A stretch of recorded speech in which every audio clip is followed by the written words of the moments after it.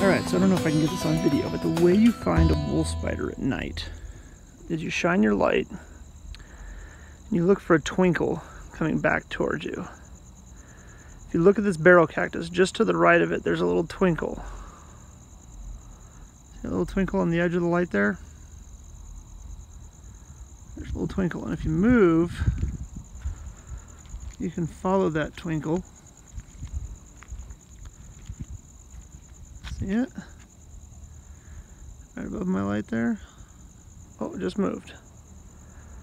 Alright, so let's go up. I'll show you a little spider is right there.